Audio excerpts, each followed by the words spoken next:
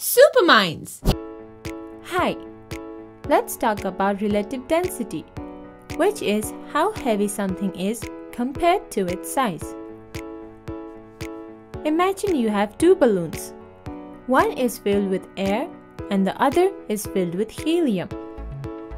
Now, even though both balloons are the same size, the one filled with helium is much lighter.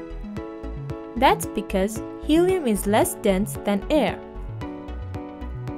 So, when we talk about relative density, we're comparing how heavy something is to how much space it takes up. Just like the helium balloon takes up the same amount of space as the air-filled balloon but weighs less, some materials can take up the same amount of space but be heavier or lighter than others. For example, think about a wooden block and a block of iron that are the same size. The iron block is much heavier because iron is denser than wood.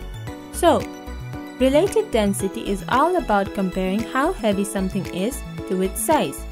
The denser something is, the heavier it is